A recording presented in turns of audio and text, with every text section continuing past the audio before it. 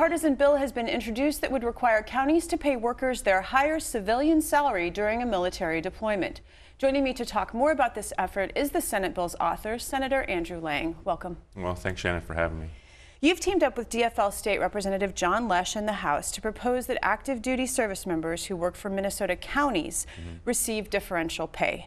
You are currently a major in the Minnesota Army National Guard. Representative Lesch is a retired Army National Guard captain. Mm -hmm. How does your experience influence bringing forward this proposal? Well, uh, it was just a, a, couple days after the election, actually, John Lesch called me and uh, told me of his idea. And, uh, and, and like I'll probably uh, talk about a little bit later, is we are kind of in the infancy stages of, at least this bill and, and how it's progressing. And uh, we're looking really close at what it's going to cost fiscally. Um, but yeah, um, my experience, you know, uh, the National Guard, for all the things it is and all the, the, the positives, you know, it's a, a, brother and a sisterhood and all the, the things that I would, I would always encourage anybody else to, to enlist and, and really experience as well.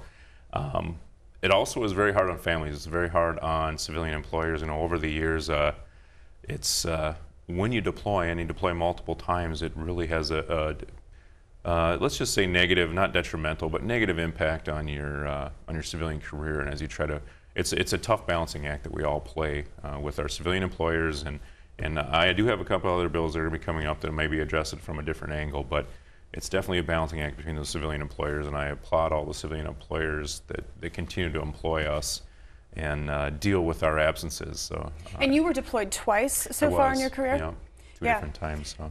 The idea of equalizing the higher civilian pay to the mm -hmm. typically lower uh, pay for military is not a new idea. No. State employees received the benefit in 2003, school mm -hmm. districts in 2004. Some counties already do, but they not do. all counties. So your proposal would expand it to all counties. Uh, should it just be standard, expanded, maybe not only just all counties, but municipalities, all all uh, entities involved or, or across yeah. the state because it is such you a... You know, that's it's definitely a topic of conversation that we've had uh, between Lesch and myself and, uh, and of course between, uh, you know, Veterans Committee members. Um, this is, I think, a, a, chip off the block. I think it's a, it definitely brings a little bit of notice of the, the issue. Um, you know, we've we've talked at length on, on what it's going to cost. Uh, we're that's still up in the air a little bit. We have that that local uh, impact note that's out there right now that we're going to get back and find out exactly what this means.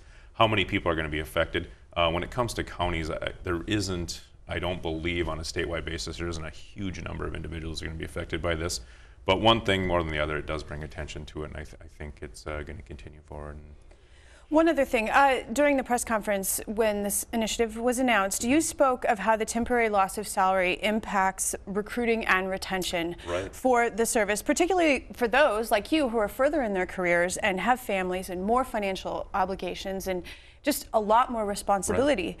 So can you, just as an example, like how much of a difference are we looking at between, you know? Well, it varies so greatly. That's, that's the tough thing. That's what makes it difficult because there's so many different jobs within the military.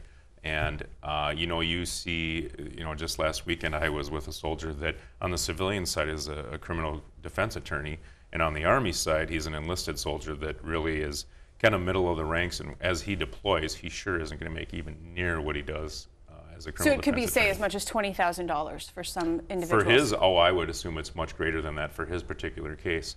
Uh, on the other flip side of it, there is some folks that uh, you know are are well within their career and as an or, or, even an officer in the military and could quite possibly make more on deployment than they do. So it's not it's not a, a, a narrow little sliver of of what this bill may or may not affect. But it's a complex issue, but oh, the absolutely. idea is that you want people to not suffer financially right. for serving their country. Oh, absolutely, and that's and that's what I mean when I talk about recruiting and retention for the National Guard. That's that's tough. Some of the toughest stuff they have. It isn't necessarily getting the young folks in and getting them uh, you know, trained up and uh, deployable force. It's the, the folks that are my age that have, you know, somewhat uh, advanced in their civilian careers that physically, literally, and quite often mentally getting ready for another deployment uh, and, and then, you know, with the loss of income and the loss of you being gone, and it's, you know, it's, it's a tough road to, road to hoe, so we try to uh, this is just a step in the right direction, I think, as far as the bill is concerned. So.